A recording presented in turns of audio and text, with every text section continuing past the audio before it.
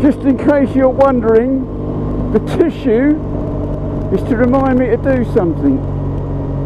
To unload something from the bike when I get to my first destination.